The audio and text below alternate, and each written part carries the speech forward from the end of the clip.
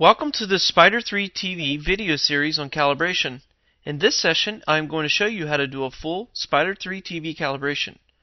For the demonstration purposes today, I will be calibrating a Pioneer Pro 940 HD plasma display. I will be using a Pioneer BDP HD1 Blu-ray player to display the Spyder 3 TV test patterns. The Blu-ray player is connected to the TV through an HDMI cable. Before jumping into the Spyder 3 TV and calibrating your set, you would need to be certain of the following. Turn on your TV and let it warm up for at least 30 minutes. This will ensure a constant and repeatable reading during the entire calibration. Make sure you have your TV and DVD remotes. It's a good idea to reset your TV to factory defaults prior to the calibration. This will ensure that you start the calibration at a known state. If your TV or front projector has an automatic black level adjustment, or if you're using a front projector and your projector has an auto iris setting, be sure to disable this. This could cause the calibration process to fail, especially with settings like brightness. If your TV has different display modes such as standard, dynamic, cinema, sports, and so on, set the display mode to standard. If you're unable to eliminate most of the ambient light in the room, try to get a dark cloth to drape over the TV and the meter during the readings. This is most important for adjusting settings such as brightness. If you are calibrating an LCD, DLP, or LCOS screen and don't want to connect to the Spyder 3 meter using the suction cup method, you will need to use the Spyder 3 tripod mount and lean the Spyder 3 TV flush against the screen. The Spyder 3 must have direct contact with the screen at all times during the calibration. The only exception to this is when you are calibrating a front projector. If you are calibrating a front projector, set up the tripod with the meter one foot away from the screen, facing the center of the screen. Now, let's get started with the calibration. After launching Spyder 3 TV, the first few screens in the software will help prepare you before taking any readings. These preparations and recommendations were discussed earlier in this video, so we can skip these screens.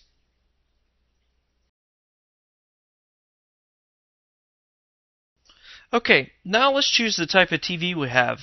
In this demo, we are using a plasma TV, so I will select that option. Be sure to select the correct TV type when you are calibrating, because Spyder 3 TV will behave differently depending on what type of TV you have selected. Click the Next button to continue.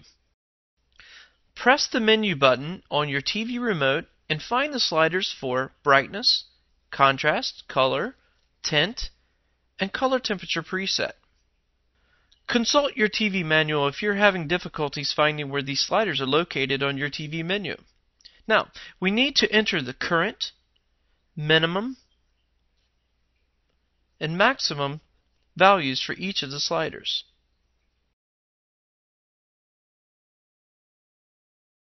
If you don't have one or more of these sliders, uncheck the box next to the slider icons. The slider will be grayed out and Spyder 3 TV will not calibrate this setting. Some TVs might have different names for each of these settings. For example, brightness is sometimes called black level. Contrast can also be called picture or white level. Color may be referred to as saturation. And tint is sometimes called hue. Some TVs might have different value names for color temperature preset, for example cold, medium, warm, or low, medium, high, and so forth. You can use the color temperature preset editor to add new presets to the list. You can edit or delete the existing presets or change the order of the presets.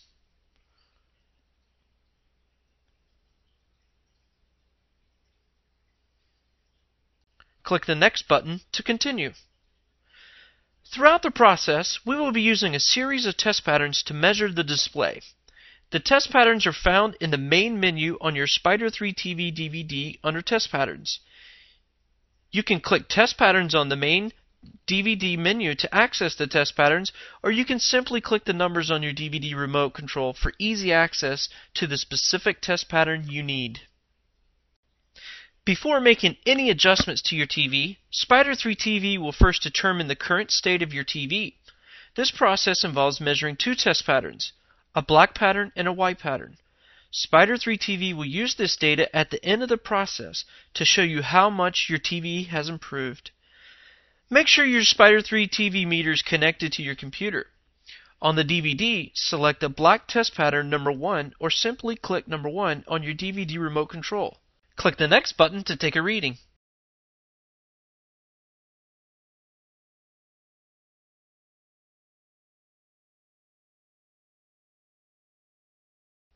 Using the DVD remote, select the white test pattern number 2. Click the next button to take a reading. On some displays, Spyder 3 TV will have us change the contrast setting to a certain value. So now, using your TV remote, change the contrast to 45 now. Click the next button to continue. Now, Spyder 3 TV will determine the best color temperature preset for your TV. During this process, you will be asked to change the color temperature to each of the values you entered on the record settings screen. At the end of the process, the optimal value will be recommended. Once again, we will be using the white test pattern. Click the next button to continue. Using the TV remote, I will open the TV menu and change the color temperature to low. Click the next button to take a reading. Repeat this process until you have measured each of the color temperature presets. After the last color temperature preset is measured, Spyder 3 TV will select the best preset for your TV. Using your remote, make sure you select the recommended color temperature preset before continuing. After calibrating each of the settings, there's a View Graph button. This graph, for example, is the color temperature preset settings graph, and it shows you the correct or the recommended color temperature preset value based on a target of D65. So the value low is closest to our target, which is D65. Click the next button to continue. Next, Spyder 3 TV will determine the best contrast for my TV. Contrast is sometimes called picture or white level. During this process, you will be asked to change the contrast setting to about seven different values. And at the end of the process, the optimal value will be recommended. Using the DVD remote, select the white test pattern number 2 and click the next button to continue. Using the TV remote, open the TV menu and change the contrast to 60 now. Wait for the TV's menu to disappear before continuing. Click the next button to continue. Repeat this process until you have measured each of the contrast values. After the last contrast value is measured, Spyder 3 TV will recommend the best contrast value for your TV. Once you see the red circled recommended value, change your settings to that number and leave it there before you start adjusting the next setting. So, for my TV, Spyder 3 TV recommends a contrast of 41. Click the next button to continue. Now, Spyder 3 TV will determine the best brightness for my TV. Brightness is sometimes called black level. Using the DVD remote, select the black test pattern number 1 and click the next button to continue. As you did for contrast, once again, you will be asked to change the settings to about 7 different values, and at each value, you'll take measurements. At the end, the optimum value will be recommended.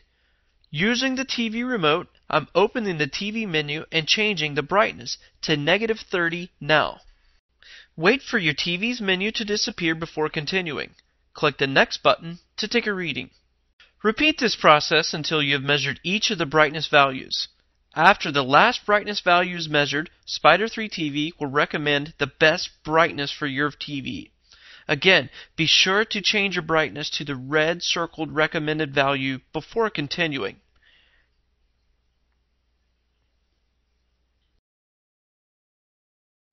Now, I wanted to show you your brightness graph. Your brightness graph and your contrast graph are very similar. Basically, it shows the luminance reading from minimum slider value all the way to your maximum slider value. And as you can see, it circles the answer, the recommended answer that Spyder 3 TV selects. Click the next button to continue. Now, Spyder 3 TV will determine the best color setting for my TV. Color can sometimes be called saturation. This step is a little different from contrast and brightness. During this process, once again, you will be asked to change the setting to about seven different values. However, this time you will be asked to take two readings at each value using two different test patterns. Test pattern color white, number 3, and test pattern color blue, number 4. Click the Next button to continue. Using the DVD remote, select the color white number 3 test pattern now. Using the TV remote, I'm opening the TV menu and changing color to 30 now. Make sure your TV menu disappears on your TV screen and click the Next button to take a reading.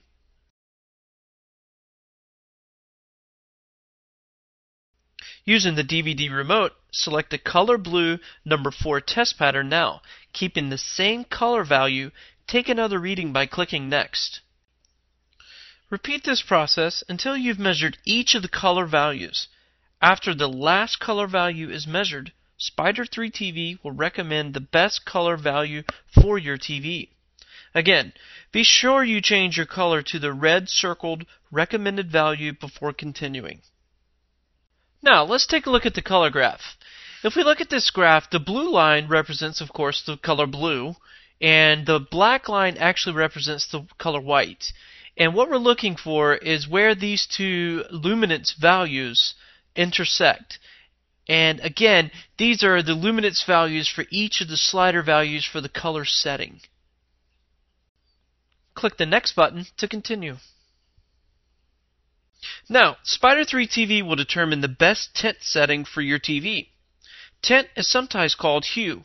This step is very similar to color. During this process, once again, you will be asked to change the setting to about seven different values, and you will be asked to take two readings at each value using two different test patterns.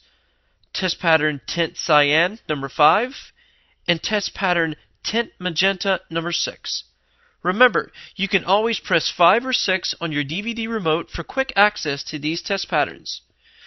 Using your DVD remote, select the tint cyan pattern and click the Next button to continue. Using the TV remote, I am opening the TV menu and changing the tint to negative 30 now. Remember, wait for the TV menu to disappear before continuing. Click the Next button to take a reading. Using the DVD remote, select the Tint Magenta test pattern number 6 now. Keep the same tint value and take another reading by clicking Next.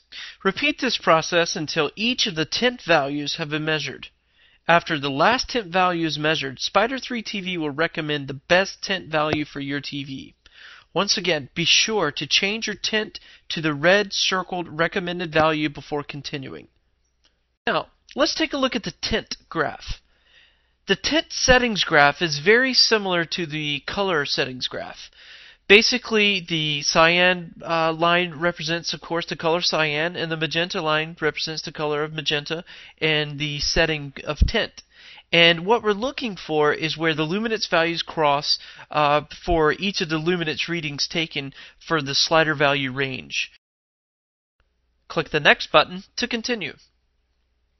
Spyder 3 TV will now compare the new state of your TV with the former or initial state of your TV to determine the improvement. Using the DVD remote, select the black test pattern number 1 on your DVD. Click the Next button to take a reading. Finally, select the white test pattern number 2 on your DVD. Click the Next button to take a reading. Here is a summary of the changes I've made. Each slider illustrates the changes I've made to optimize my TV and improve my viewing experience. You can click the icons next to the sliders to see the graph showing the changes you've made to your TV. You can click the Report button to see a detailed report.